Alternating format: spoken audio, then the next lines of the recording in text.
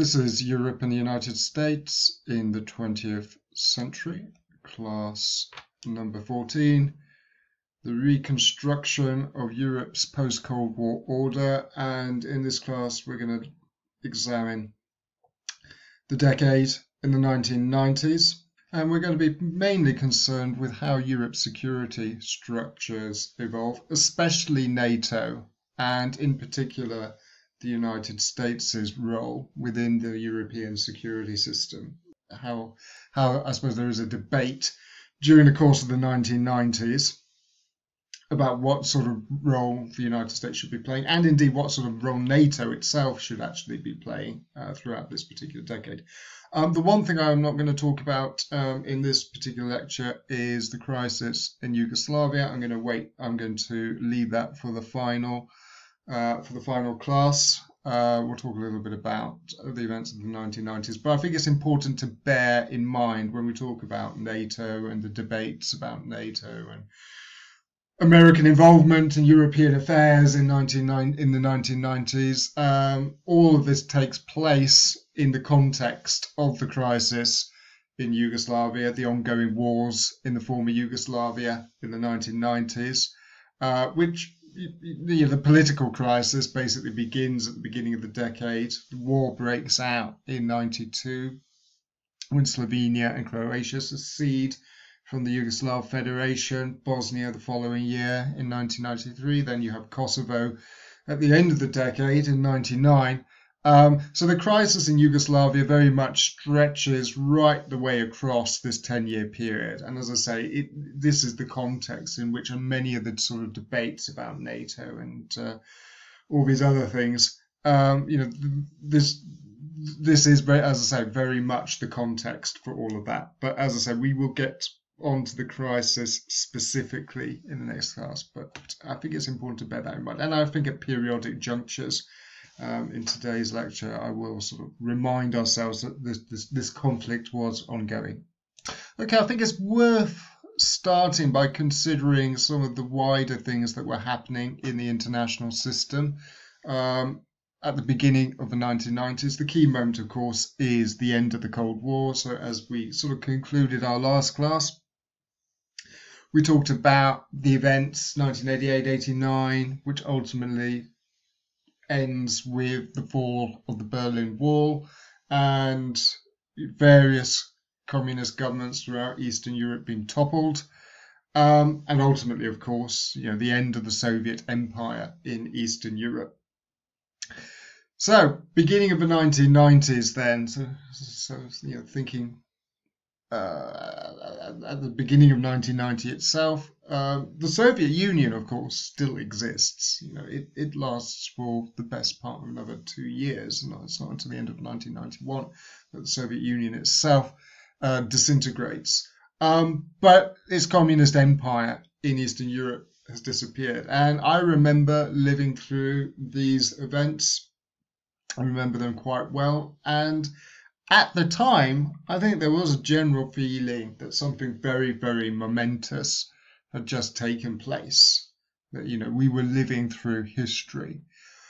And when I first started studying international relations uh, around 1993, so you know I was literally sort of beginning my formal um, education in international politics.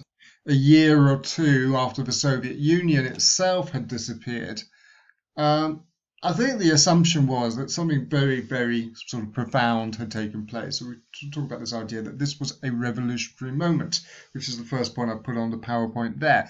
The reason why I put a question mark over that is I think 20, 20, 30 years later, historians, at least some historians, have perhaps begun to question whether this was quite as revolutionary as actually seemed to be the case at the time. Um, and the case for saying that actually um, the events weren't quite as momentous as they first appeared uh, rests on several arguments.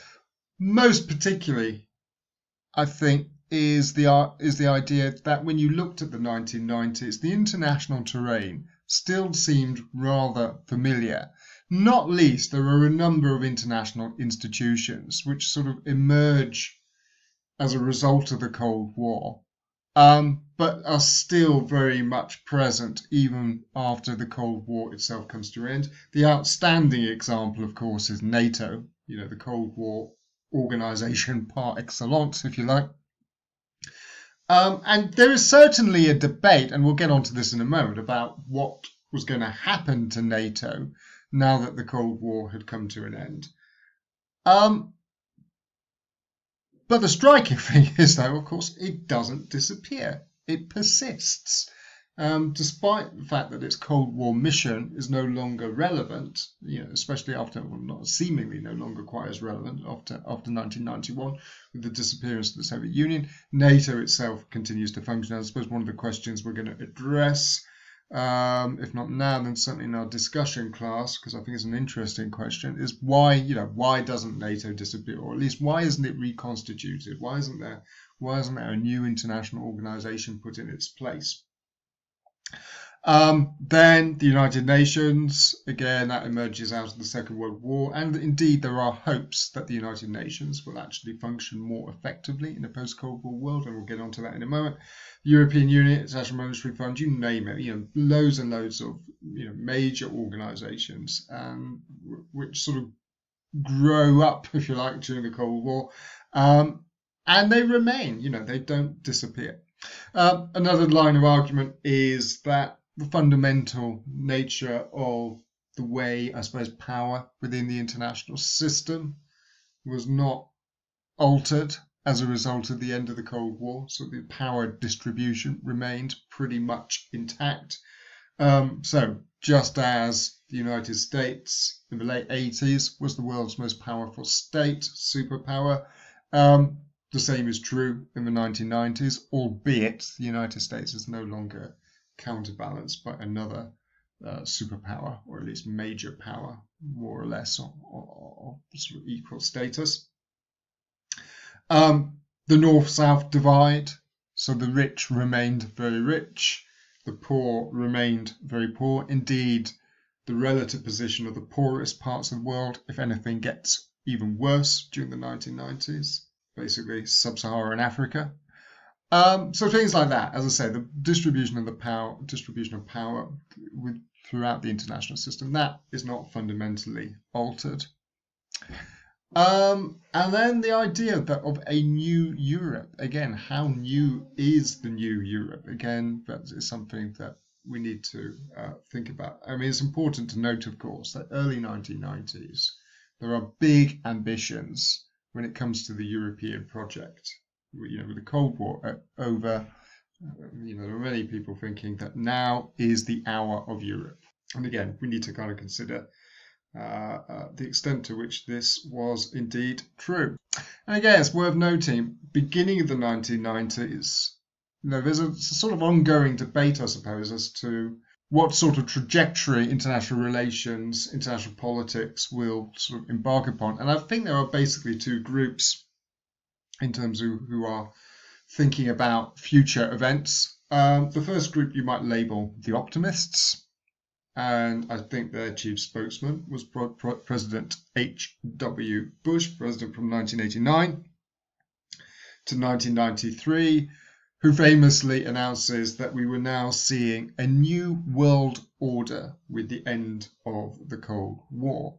Um, another major figure, of course, is the sort of philosopher Francis Fukuyama, who sort of has a takes a sort of Hegelian view of international relations and announces that we had now reached the end of history, as he puts it. Essentially, he argues that the ideological struggle between communism and liberal democratic capitalism that had come to an end with an unvarnished victory for Western liberal democracy. And in Fukuyama's view, you know, you could look forward to a more stable, more peaceful, and probably a rather more boring international order. Um, but essentially, he says, yes, this is a Western triumph. And from this perspective, you know, again, there are a number of arguments that uh, uh, kind of are presented in support of this particular thesis.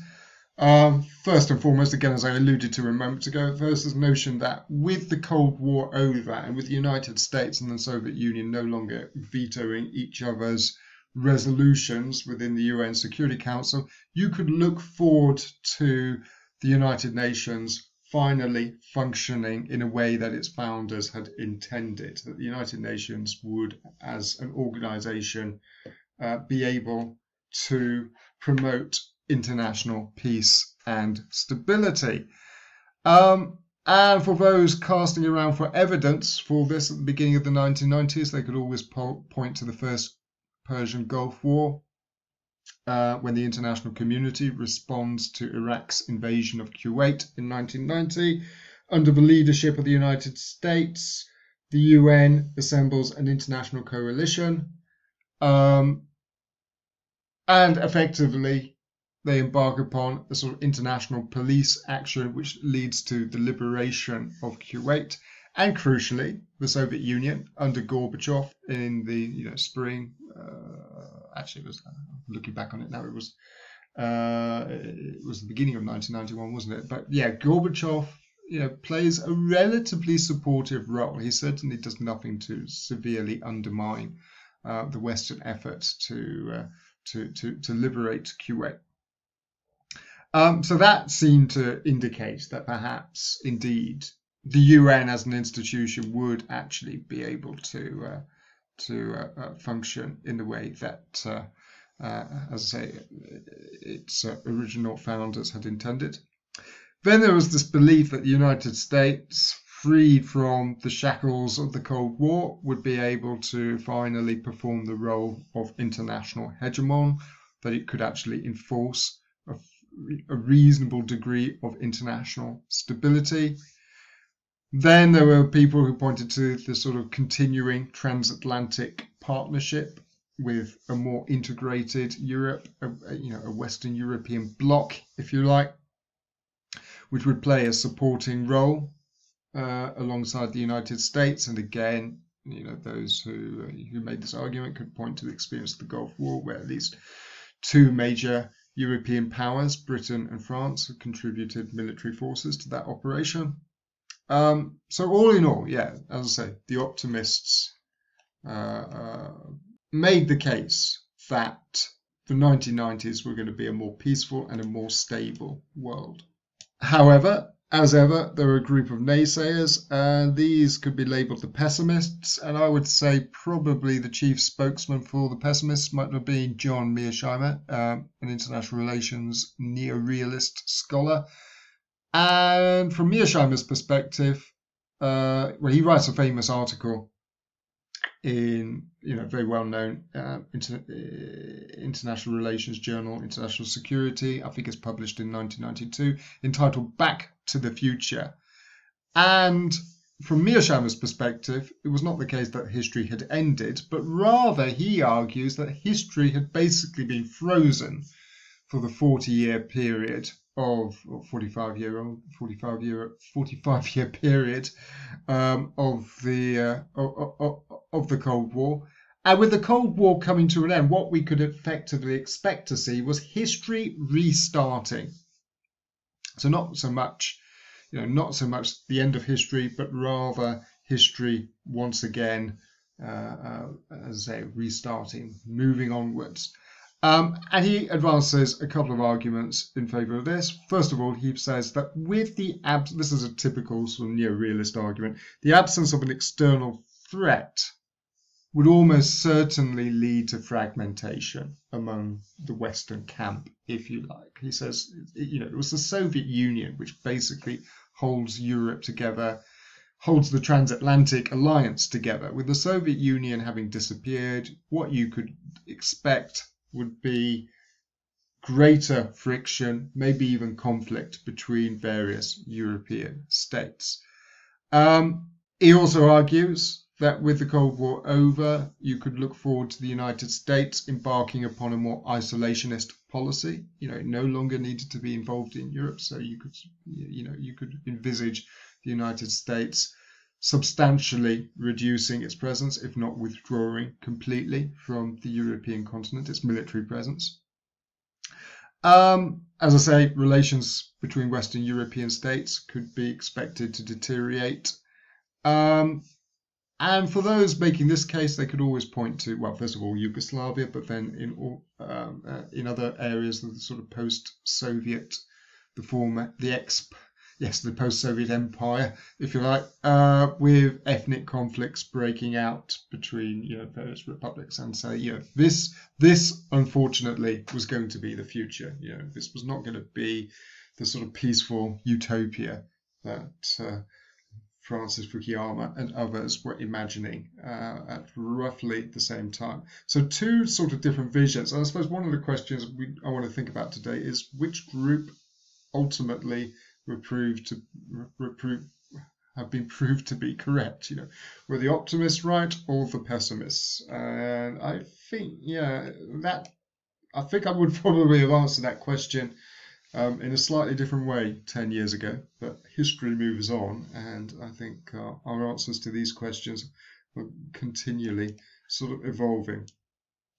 Let's think about the transatlantic relationship, and I think one persistent theme in the sort of literature on this topic is that um, you see at the end of the Cold War the actually the actual terminology by different historians and different political scientists varies. But essentially, what they are saying is that the Europeans and the Americans have to decide what the terms of the new post Cold War transatlantic partnership are going to be.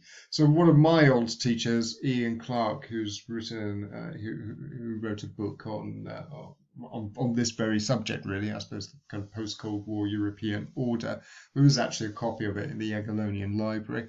Um, he talks about this idea. He, he basically views the 1990s, certainly the early 1990s, as a period of peacemaking. So he says one way of thinking about what happens with at the end of the Cold War, uh, as with any war, is that you have to have this sort of process of peacemaking. Um, and when you think about how wars end, I mean, they all wars tend to end in several different ways. But one way that they end is that you know all the parties come around the table and and uh, sign a peace treaty, and and you know legally, if you like, the conflict is brought to an end. That doesn't always happen. It doesn't happen at the end of the Second World War. Indeed, when you look at the sort of um, the detente period, German Ostpolitik, late 60s, 70s, you know, one way of interpreting that is is is a belated effort at, at peacemaking at the end of the Second World War. Um, as I say, early 1990s, one way of viewing how the Europeans and the United States engage with one another is that they go through a phase of peacemaking. Um, other historians, Lundestad, for example, uh, he doesn't use the phrase peacemaking, but he talks about the Europeans and Americans reissuing their invitations, or the Europeans reissuing their invitations to the United States. Essentially, say, look, we want you to continue. We want there to be a continued American presence. Um, but again, the sort of recognition that the terms of that relationship were obviously going to have to change with the end of the Cold War. Um, another historian, Jeffrey Sloan, I reviewed his book uh, a few years ago, um, but he talks about this idea of renegotiating the transatlantic bargain, the transatlantic bargain effectively being the mutual sort of obligations of the Americans and the Europeans. The original transatlantic bargain struck, I suppose, in the late 1940s. You know, with the Marshall Plan and eventually the North Atlantic Treaty. The original transatlantic bargain essentially being that the United States would fully commit itself to the defense of Western Europe. In return, its Western European allies would be willing to accept American political leadership. You know, these are essentially the terms. Obviously, the world in the 1990s, beginning of the 1990s, very, very different from the late 1940s. But nonetheless, there is this sense that, um, you know, there is this sense that uh, um, that the partnership between the United States and Western Europe needs to continue. Um, in terms of Ian Clark's idea of peacemaking, he basically makes the argument that when you think about a treaty, there's usually two aspects to it. A peace treaty, which brings a war to an end. There's usually two aspects to it. One, he says, there's a regulatory role. Um, no, actually, I'll do that second. so first, he says there's a redistributive aspect to the treaty. So if you think about the Versailles Peace Treaty, just to do a little bit of revision momentarily, um, obviously there was an awful lot of redistribution that goes on at the end of the First World War, um, and there's redistribution in terms of territory, in terms of deciding you know which state gets what, which bits of land, etc. Um, and you see this with the sort of Ostpolitik and uh, you know the Conference of Security in the 60s and 70s, which was sort of, I suppose, giving a legal recognition of the post 1945 realities of Europe. Um, so there's a redistributive aspect in terms of territory. There's redistribution in terms of also resources. So you think about uh, uh, you know, France getting the Saar Valley uh, at the end of the First World War. I say it's getting, but administering the Saar Valley at the end of the First World War for 15 years, I think it was, wasn't it? Um, and also, of course, German reparations. You know, the fact that, that, that, that, Germany was going to be made to pay. And then the treaty has a regulatory role as well, and that's basically what sort of institutions, what sort of rules are going to uh, be constructed in order to regulate the post, you know, post post-war order, or in this case, the post-Cold War order. And as I say, one view can, can view the 1990s as a period of peacemaking, or at least, I suppose, the Europeans and the Americans groping their way towards some kind of new European order, uh, or possibly a new transatlantic bargain. And as I say, Lundestad talks about uh, effectively um, uh, reissuing the uh, the uh, uh, the invitations probably the single biggest fundamental change to the European order is what happens to Germany. And of course, in 1990, Germany is unified. But that was not necessarily given. And to be honest, I'm going to pass over this very this part of the story very quickly, and we will return to it in much much more detail. I think in our discussion class because a it's a fascinating story, and I don't have time to do it justice uh, right now. Um, secondly, there's a really, really good chapter by Timothy Garton Ash, which talks a bit talks about how the dynamics of, of unification take place, and there's a couple of other quite good uh, articles uh, in uh, on the reading list on uh, about this topic. Um, but yeah, I mean, in terms of the post-war European order and what sort of what sort of you know, what sort of post-Cold War peace there was going to be. As ever, Germany was going to be a central part of it. Um, 1989, as I say, 9th of November 1989, the Berlin Wall comes down. Um, communist government collapses in East Germany. Shortly after that, new elections are organized in East Germany, uh, and a new democratically elected government comes to power.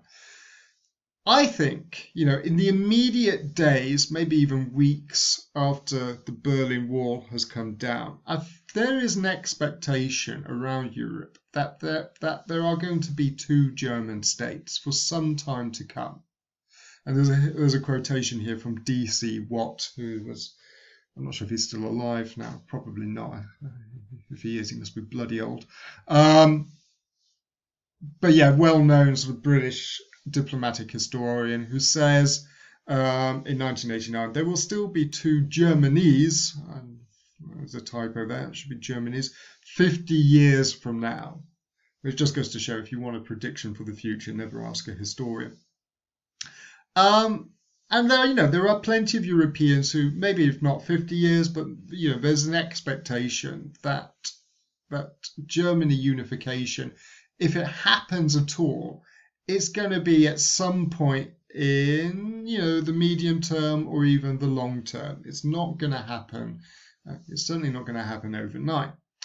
Um, of course, when you look at the story of German unification, though, um, everybody is proved wrong. All these people who are saying, you know, there's going to be two Germanys, you know, they are proved wrong. German, the process of German unification happens extremely quickly. And I suppose one of the fascinating questions, and I will we will address this in our discussion class, is why it happens so quickly. You know, why why isn't the process more protracted? Um, but as I say, we will. I'll set that question um, uh, to one side.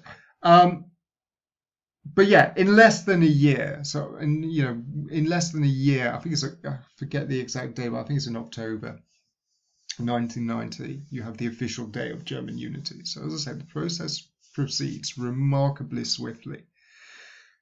Um, there are various factors for accounting why Germany is united. Uh, not least its I mean, I think the single biggest reason is the Germans want Germany to be united, um, but there are plenty of other factors as well. And the role of the United States as well is absolutely crucial. Bush, basically, George H.W. Bush, basically comes out fully in favour of a united Germany, except he adds one particular condition, and that is Germany has to continue to be a NATO member.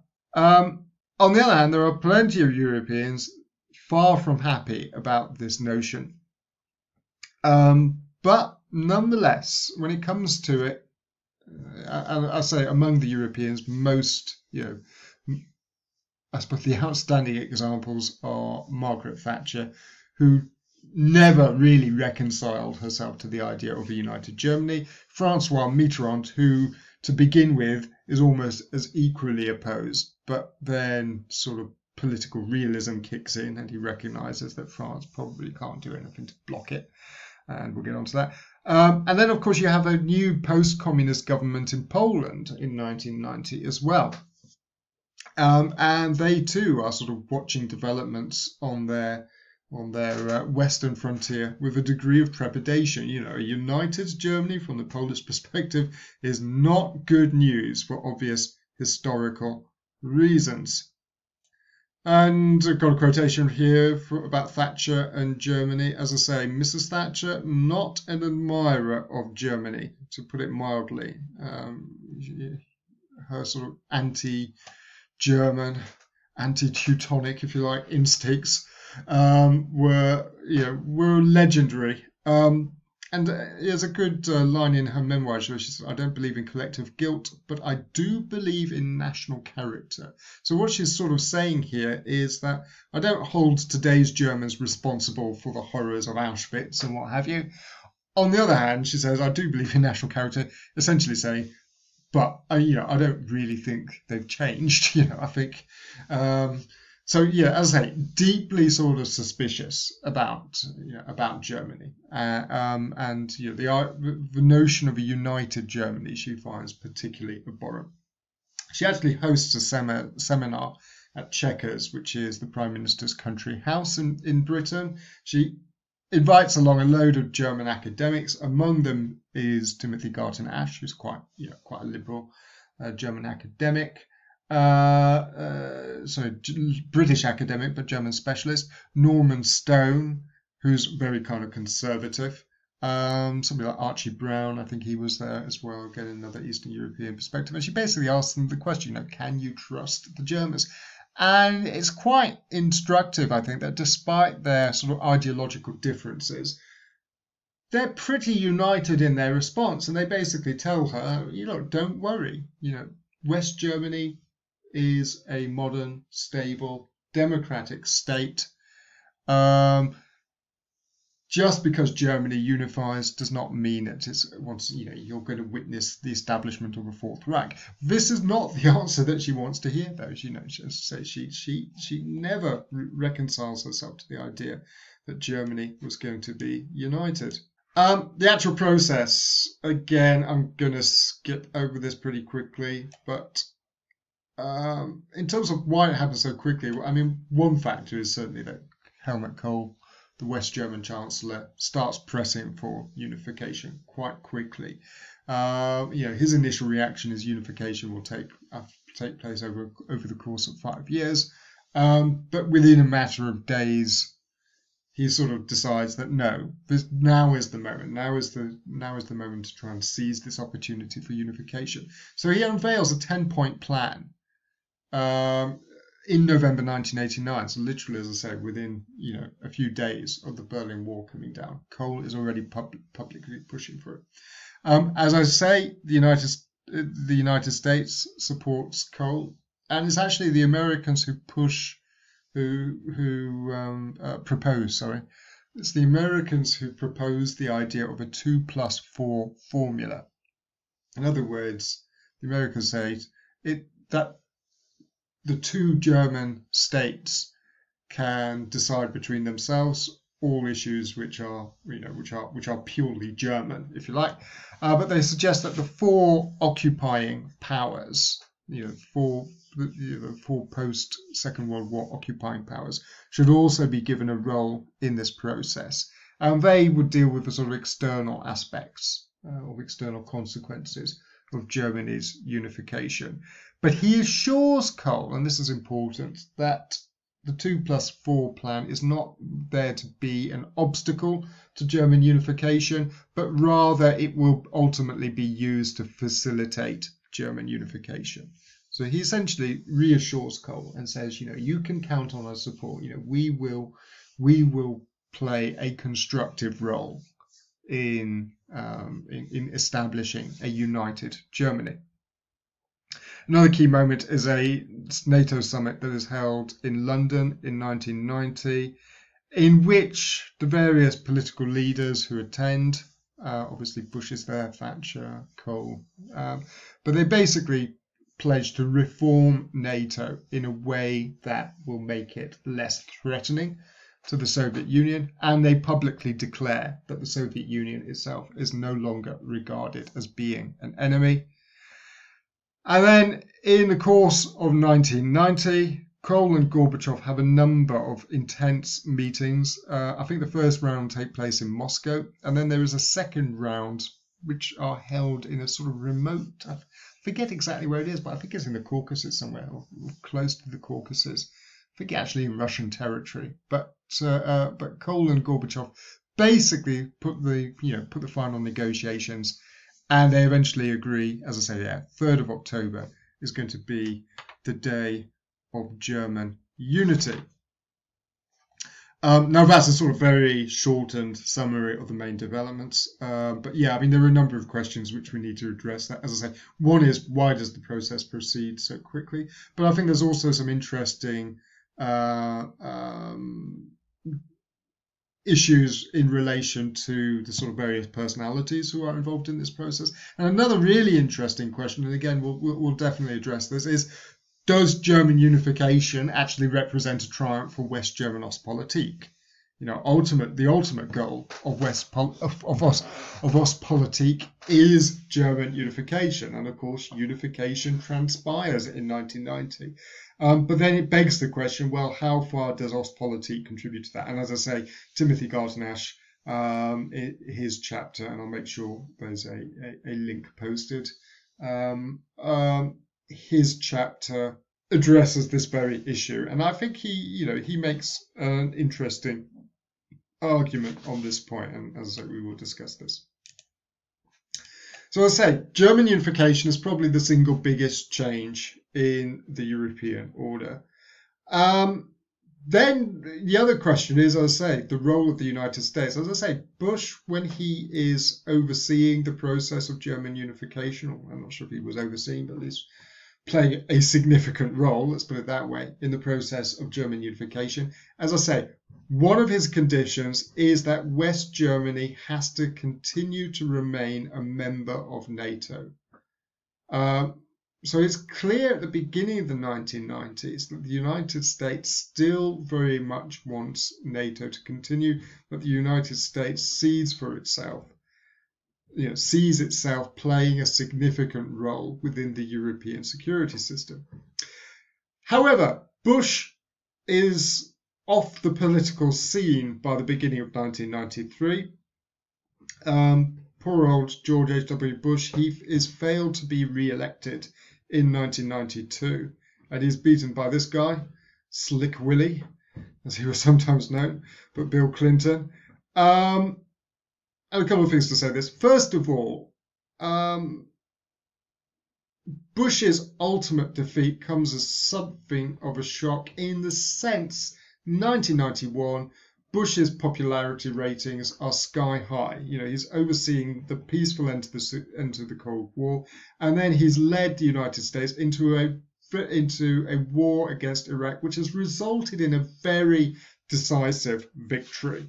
Um, so, all things considered, Bush, as I say, was immensely popular uh, throughout most of 1991, and many people were essentially saying that you know that uh, he was a shoe in for a second term. Uh, to the point at which that many senior Democrats in 1992 decide that they don't even they don't even want to try and challenge Bush, and they decide that they are going to you know sit this one out.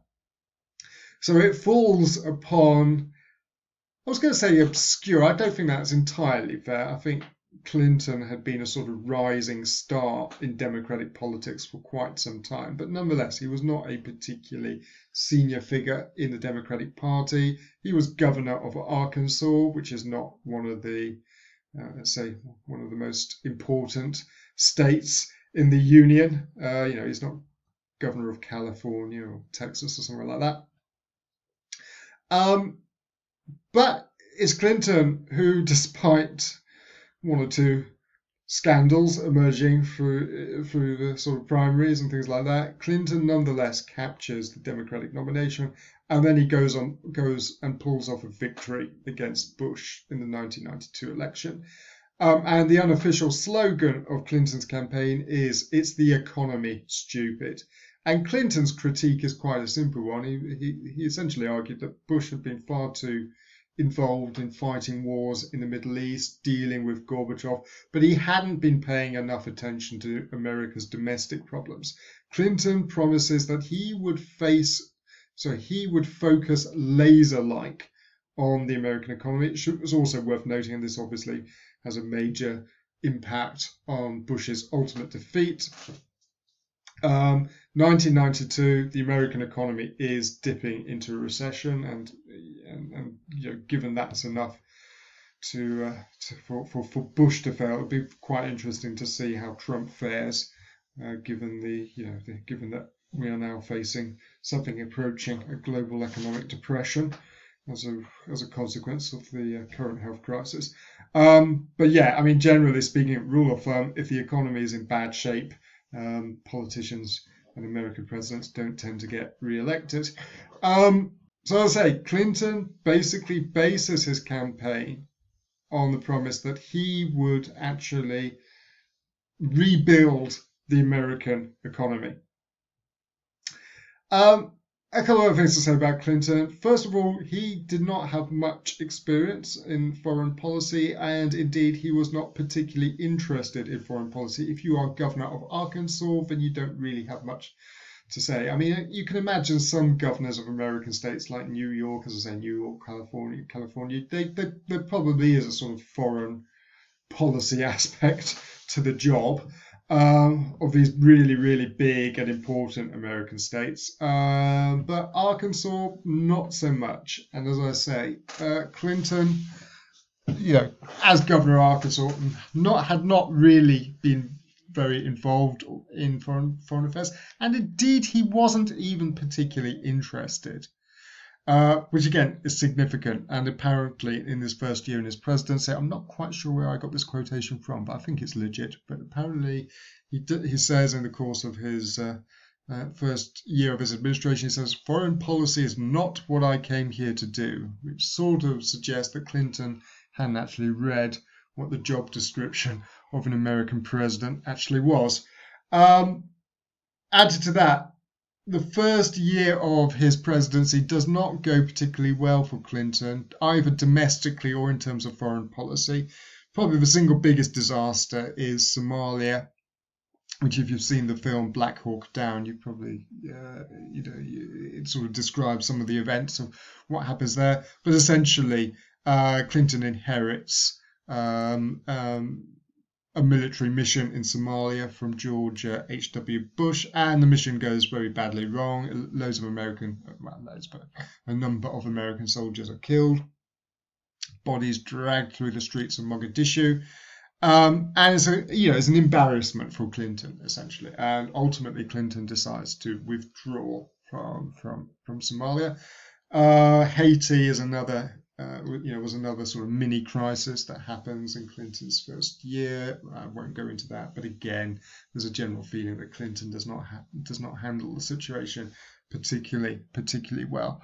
Um, what Clinton takes away from this, I think, is that uh, um, foreign policy is not you know is not something that he should try and minimize you know something that you know he's an area of government let's say that clinton wanted to try and minimize his involvement in. That has some rather tragic consequences of course the following year in 1994 when mass killings sort of break out in um, in, uh, in, in Rwanda, tribal warfare and uh, uh, and you know, basically genocide is committed, and the Clinton administration very consciously decides that it does not want to be you know, does not want to be involved in bringing this to bringing this to an end. Um, which Clinton later acknowledged was a mistake. He, he visits Africa a few years later uh, as president and effectively apologizes and said that the United States and the international community should have done more to, to, to, to prevent the genocide. A couple other points to make on the slide. First of all, yeah, Clinton, although not interested in foreign policy, did certainly have European connections. He'd been a Rhodes Scholar, so he'd studied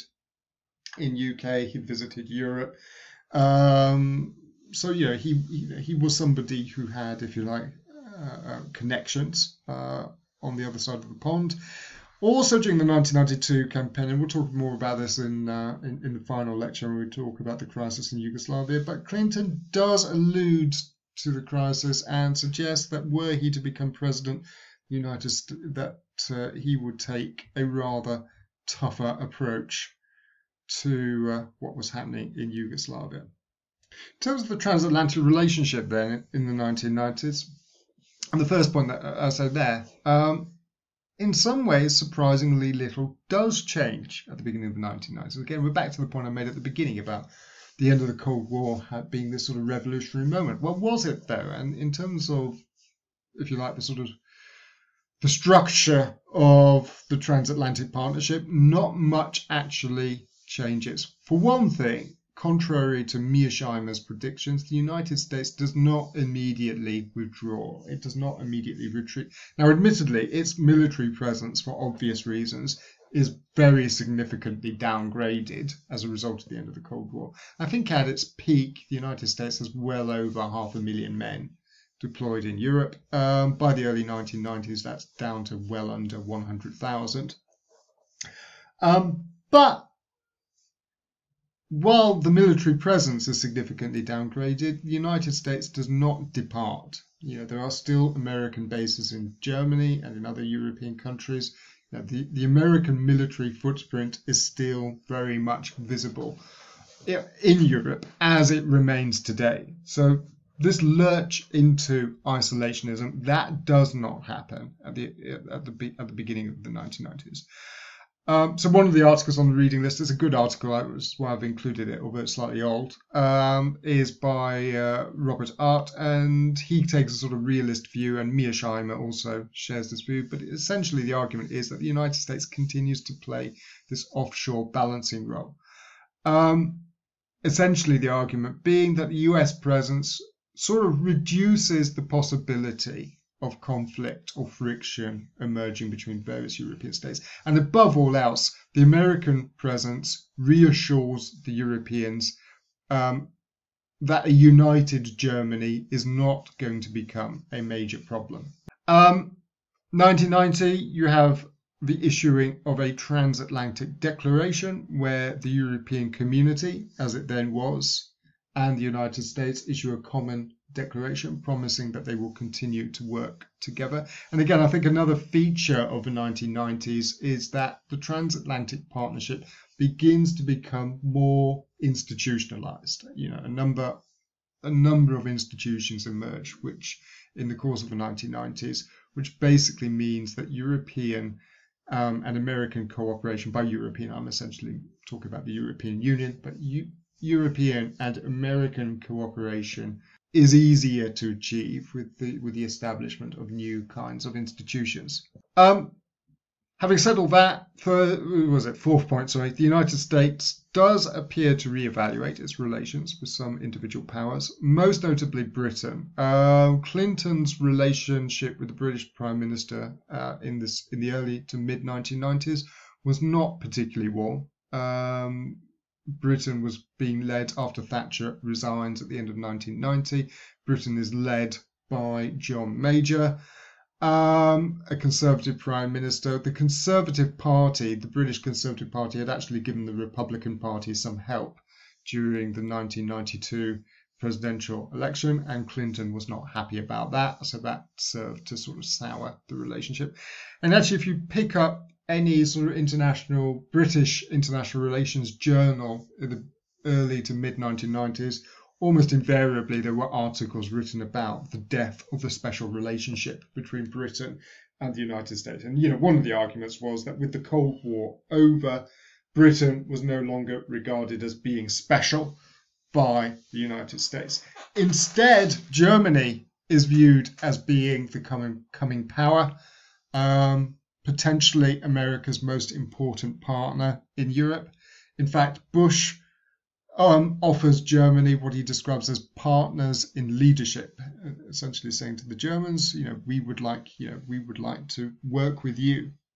Um, a proposition that the new that the that the German Chancellor, Chancellor of the newly united Germany, Helmut Kohl, rejects. You know, Kohl is very very sensitive to how others perceive a united Germany. You know, he he was reluctant to take on a sort of overt leadership position in European affairs, lest it lead to increased suspicions among Germany's neighbours. But nonetheless, it sort of indicated that the United States in this period was beginning to sort of reevaluate its relations with with uh, with, with uh, various European states. There's also an argument, I think this is perhaps more applicable in the mid to late 1990s, maybe after Kohl disappears from the German scene after 1998. But one of the arguments is that a post Cold War united Germany begins to behave more like a normal great power in the sort of European context. So, whereas during the Cold War, essentially uh, you know, the Germans sort of bankroll the European project and are willing to accept French leadership. By the 1990s, an increasing number of German politicians are saying, hang on a minute, you know, we, we're the biggest single contributor to the European Union. Uh, we expect to, to have the biggest say that you know we expect to have more influence when it comes to the decision making process as i say Kohl i think is is relatively restrained when he during his time in power. Kohl obviously pretty much of a sort of Second World War generation. I mean, he'd been a child during the Second World War, but he'd sort of experienced it. Kohl ultimately retires at the end of 1998. Uh, I'm not sure if it's the end of 1998, but anyway, at some point in 1998. Um, and a new, much younger German Chancellor take, takes over, Social Democratic Chancellor Gerhard Schroeder, um, and he is certainly sort of less, you know, less sensitive to the to to to to others' perceptions of Germany and more willing to allow Germany, as I say, to behave like a normal power. Then we have the issue of NATO, and as I say, that an alliance without an enemy. Um, 1990 London Declaration, as we mentioned, uh, NATO explicitly says that the Soviet Union is no longer regarded as an enemy. Which then sort of begs the question: Well, if there isn't an external enemy any anymore, um, why do we need the alliance? Why do we need to have NATO? And now, there are certainly many people thinking that with the Cold War over, NATO should actually be dismantled. Chancellor Kohl himself briefly proposes the idea that NATO should be replaced with the OSCE. The OSCE basically growing out of the old Conference of Security Cooperation in Europe, elevated to the status of a permanent international organization, I think in 1990. Um, and Kohl said, look, we've got a pan-European security organization. Perhaps, you know, perhaps we should simply disband NATO and the OSCE will take over as the as the organization. From Kohl's perspective, it has certain advantages, not least because it is pan-European, um, so it includes all European states. Um, but ultimately, it's the it's the Americans who sort of vetoed this idea and said, no, no, no, we still want NATO. We still want to continue with NATO. The OSCE is not a substitute for NATO. And again, I think there are various reasons for that, which I will leave for our discussion. But ultimately, you know, NATO persists, and I, I think there are several reasons why NATO continues. Um, again, I perhaps perhaps I will deal with that in our discussion class rather than you know go through each of the reasons now. Um, but I mean, yeah, again, just to cut a long story short, essentially though, it's it's the United States as much as anybody. I mean, not just the United States. You know, there are plenty of other Europeans, not not least the British, who also are firmly of the view that NATO needs to continue into the post-Cold War world. But if you're not, you know, if if it's no longer about simply containing the Soviet Union, then you have to ask yourself, you know, what, why do we need NATO? Um, and essentially, there's a sort of recognition that NATO's mission is going to have to change uh, now that the Cold War has come to an end. Um, what kind of cold, what kind of role was that going to be? As I said, the final point, the US also argues that it needs this new role. What sort of role was it actually going to be?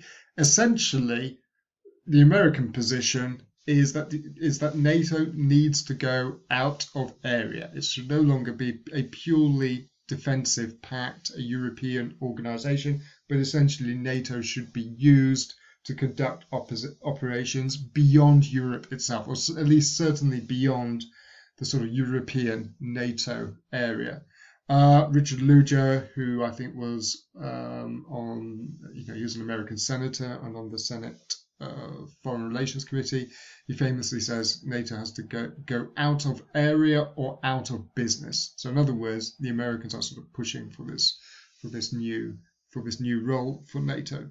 There's also much discussion about whether or not um, the organization, whether NATO should actually be enlarged to include new member states, and whether um, uh, those states which had once been part of the communist empire in Eastern Europe, whether they should be allowed to become NATO members. Early 1990s, there are several countries which are not enthusiastic about the idea of enlarging NATO. France, I think, is foremost among them. But I think Clinton is also rather ambivalent initially about the idea of NATO enlargement. As an alternative to full membership, uh, the United States offer a new initiative which becomes known as Partnership for Peace. So, in other words, establishing uh, cooper- cooperation with uh, with neighbouring European countries, uh, but which fell far short of full NATO membership. Which countries like Poland are relatively disappointed, but they see, you know, they see Partnership for Peace as a potential uh, as a potential road which might ultimately lead to NATO membership. It's not until the mid 1990s, and I think the approach of the pres- 1996 presidential election that Clinton ultimately sort of changes his mind and decides to come down fully in favor of a limited NATO enlargement. And of course, in 99, um, three new um, three new members are brought into the alliance from you know from the former communist bloc, Poland, the Czech Republic, and Hungary. As I mentioned earlier, in the 90s, uh, there is a sort of progressive institutionalization of the transatlantic uh, of the transatlantic relationship. Um, and this is sort of reflected in the mid 90s, this is 1995, in again another more detailed statement, I say, that, that, the, that the European Union and the United States issue. Um, and it has four aspects to it. Number one, as we can see here, they argue that the United States and the EU should work together to promote peace and stability, democracy, development. Uh, number two, that they should respond to global challenges, which is a rather sort of, uh, you know, rather broad and ambiguous statement.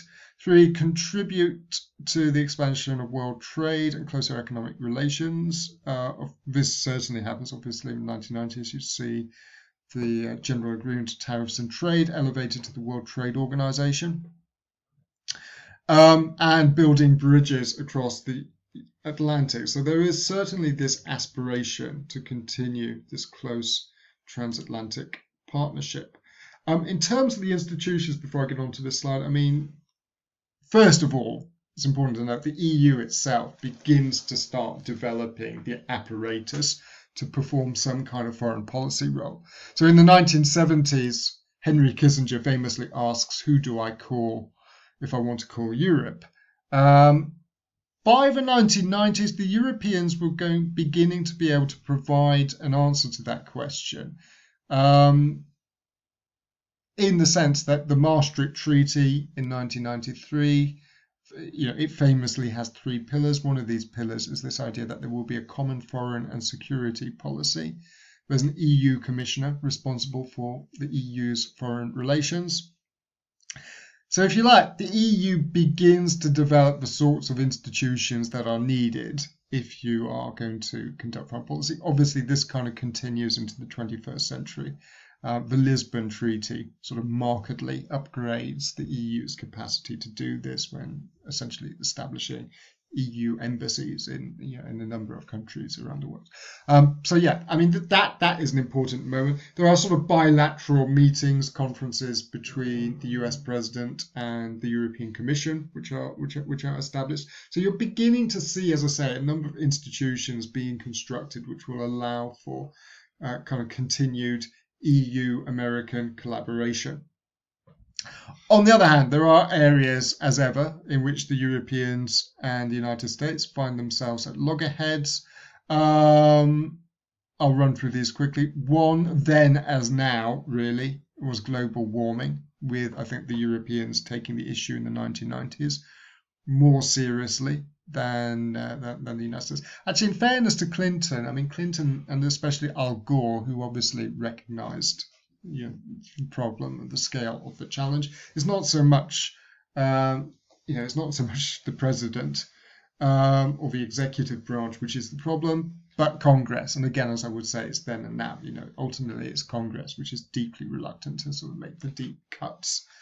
Uh, which would be necessary uh, to bring uh, um, um, uh, global greenhouse um, emissions under under control. Another area, and again, then as now, into the International Criminal Court. Um, the American argument is that American soldiers should be given some kind of dispensation simply because the United States committed so many of its soldiers to peacekeeping operations and things like that. Um, the Europeans find it hard to take that argument too seriously. And then, as ever, there are several trade disputes in the 1990s uh, especially on agriculture. Steel as well uh, becomes a, becomes a, becomes a significant issue.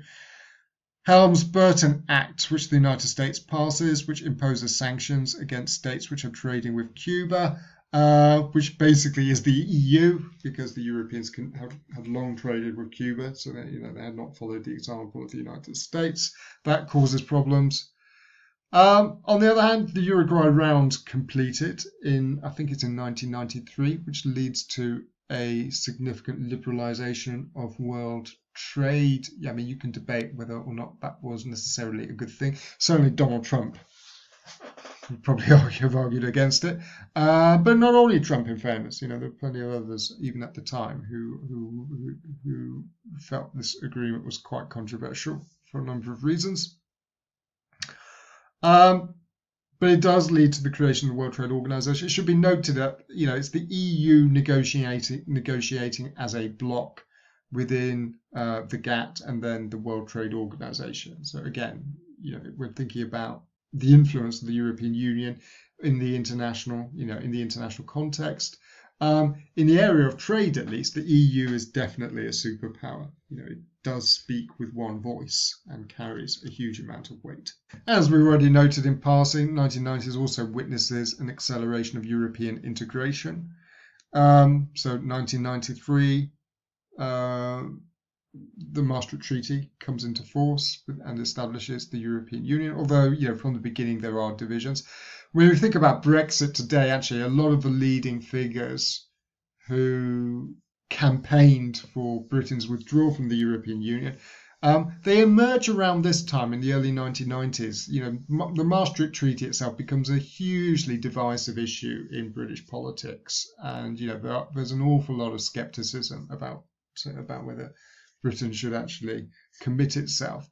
Um, ultimately, John Major, the British Prime Minister, does manage to get the treaty passed and ratified, but it comes at immense sort of political cost, and as I say, it leads to some pretty pretty um, sore divisions within the British body politic, which sort of persist through the 90s and then into into the 2000s. And you know, I think it's a process which does ultimately, you know, culminate with the referendum in 2016 and Britain's eventual departure from the European Union. Um, Denmark, though, I mean, we mentioned Britain, but you know there were other countries as well, which uh, which, you know also had problems, uh, political problems. Denmark, um, in a referendum, I think rejected the original treaty. Um, but as I say, the Maastricht Treaty does talk about this idea that there will be a European foreign policy, a common foreign and security policy, and increasingly the Europeans are talking in terms of creating some kind of European defence identity. In general, European views of uh, sorry, American views of European integration. As I say, the first point there, yeah, the Clinton administration I think is broadly positive in terms of their views on European integration. Um, so a more integrated Europe was being seen as in the interests of the United States. Um, there's also a hope, I think, in the Bush administration in the early 1990s that with the Cold War over and the division of Europe coming to an end, that the EU would quickly expand uh, eastwards. I think there's an ex- expectation at the beginning of the 1990s that it will be the EU which would be the first to enlarge, and then NATO would follow on later. Um, the reason why the Americans are quite keen for this process to take place is there is a belief that the prospect of EU membership and, eventual, and eventual admission into the European Union, that this would serve to stabilize Eastern Europe um, the problem there, of course, is that to become a member of the European Union, that is not a quick process, and I think it had become by you know by the 1990s it had become an an especially protracted process. You know there are vast reams of European laws and regulations which um, uh, candidate member states need to you know need to conform to. So there are protracted negotiations over you know over the uh, um, acquis communautaire um, the agreements or the conditions which the you know the prospective member states would need to satisfy. So as I say, it becomes clear that EU membership is not going to happen anytime soon. And as we've already noted, eventually Clinton, after some hesitation, but Clinton eventually comes down in favour of, as I say, a limited NATO enlargement in '99. So by the end of the 20th century, um, NATO has already undergone its first enlargement. Obviously, in the 21st century, other Eastern European countries would also become members. You know, there are periodic enlargements uh, during the noughties. Um, US attitudes to European security, as I say, you know, what is NATO for? And increasingly, the American view is that NATO has to go out of area or out of business the Americans also press for NATO enlargement, and it's important to note that generally speaking, if the Americans want something in NATO, they get it, being the being the dominant power. Um, and it's in the 90s that, that yes, there are a, a, a, number of reforms which are designed to give NATO some kind of out of area role. One of these reforms are what were known as joint. Oh, can't remember now. Uh, uh, CJTF, something joint task force, it com- committee or combined joint task force, something like that. Google it. um, but essentially, these are sort of committees which countries could sort of opt in or opt out of. So it was designed to give sort of NATO member states some sort of flexibility. It's around this time that this phrase starts being used which is coalitions of the willing. Now, that doesn't become popularized until around 2002, 2003, when the Americans start talking about a coalition of the willing when it comes to the war on terror. But this idea, this notion that some countries might opt in, others might opt out, that NATO and the European Union uh, would have some kind of flexibility. Um, this is an idea that starts, as, know, as I say, emerges really in the in the in the in the mid 1990s. Um, this idea that European forces would be separate but not separable. Um, and there's inc- an increasing debate, and we'll get onto this in the next slide, as to what the relationship between uh, some kind of EU defence policy or defence identity and you know how that I suppose would be kind of fit into NATO. Um, so they're conflicting British and French attitudes towards this idea of a European defence identity. Essentially, the British are eager to ensure that if the European Union was to have some kind of defence policy or defence identity, it would have to be subservient to NATO, that NATO should remain the dominant security organisation um, in Europe. In contrast, France adopting, let's say, a fairly sort of traditional Gaullist attitude. You know, their belief was that uh, that that um, a European defence policy should, you know, should be European. It should not be, you know, it should be uh, able to uh, um, stand on its own two feet. It should not necessarily be completely subordinate to NATO. As a result of this, in the 90s, um, the Western European Union is formed as a compromise between these two views. The Western European Union was a sort of holdover from the Brussels, 1948 Brussels Pact. So it was a sort of European organization which exists on papers, on paper, uh, but the British sort of resuscitate it in the mid 90s and say, look, we've already got this organization. If you want a European defense organization, here you are. From the British perspective, the WEU is viewed as a good thing because it's sort of hardwired into the organization that it is going to play a subordinate role of NATO. Um, so the British sort of triumph over the French in saying if we're going to have a European security organization, as I say, it must be subordinate to NATO.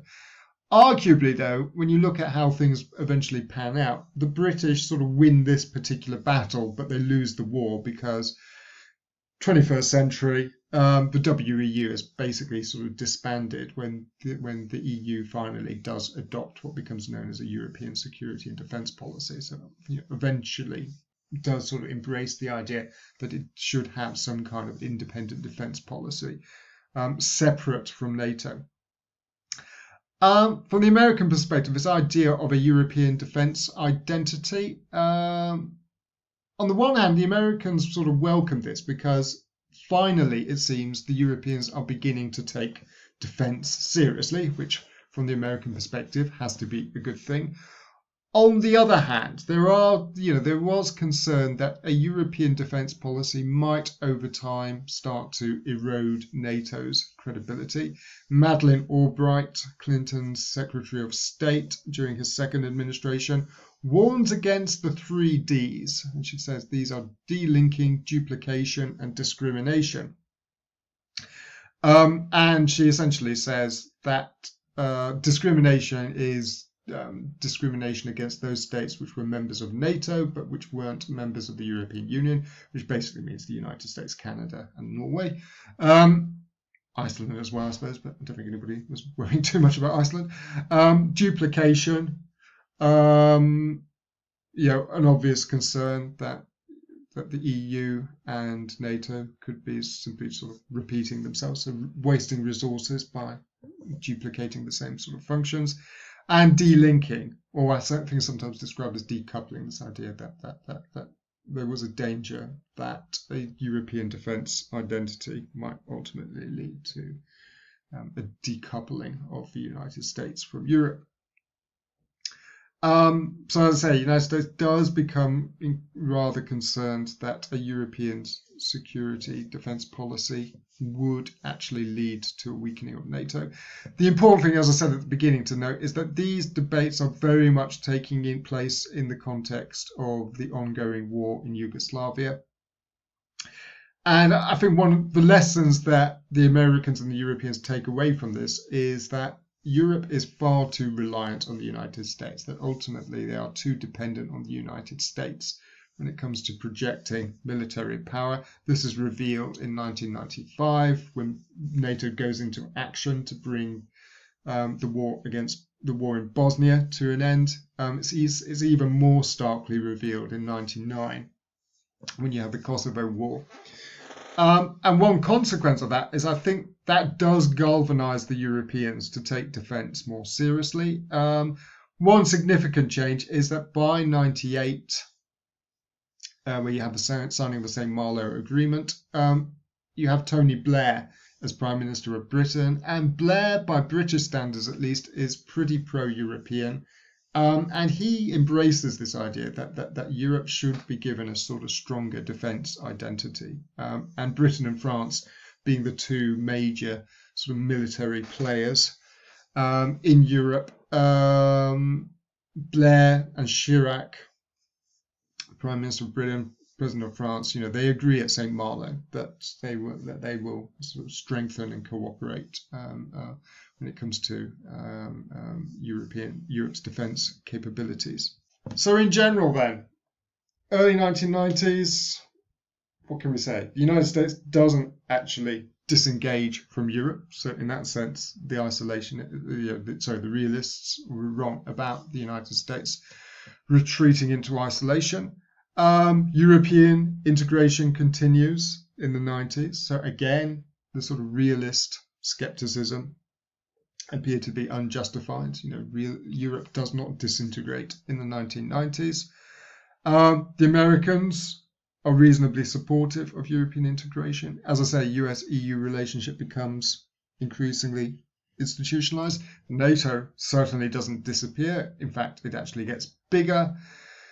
Given a sort of broader non-Article 5 role, you have things like the St. Petersburg tasks, incidentally, which talk about um, um, European forces being given a sort of paramilitary role, Coast Guard activities, stuff like that. Um, Europeans do begin to develop some parallel security structures, although you have to say, you know, it's pretty limited. Even today, this idea of a European security and defence policy is still, you know, it's still pretty limited. You know, the EU is not really a strategic competitor to NATO, at least not in the military. Um, and yeah, the US demands that, compl- that these sorts of changes complement NATO, compete with it, I suppose.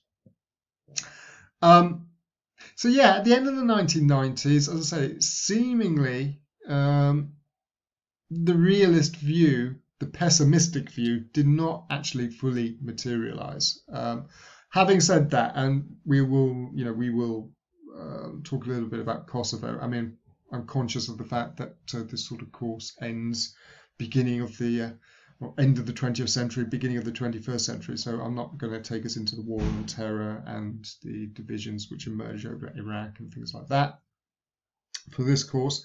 Um, but I think Kosovo, the experience of Kosovo, which which I'll talk about in more detail in the next class, that does, I think, reveal um, some potential problems which were to come. And uh, as I say, we will talk about some of that in a moment.